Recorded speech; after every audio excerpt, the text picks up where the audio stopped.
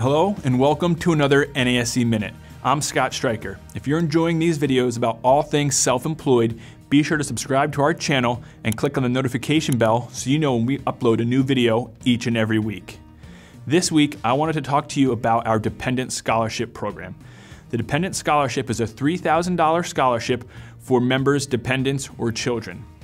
When you apply, you just need a personal statement, a resume, and a letter of recommendation. And that's it, you apply. It's really that simple and easy. So if you have children who are going to be college bound this fall, be sure to log in at nase.org to get more information and submit an application. And that's all I've got this week. Thanks for watching. I hope to see an application from you or your child this year. To learn more and stay connected, you can visit us at nase.org. You can like us on Facebook. You can follow us on Twitter at NASE Tweets or Instagram at NASE on IG.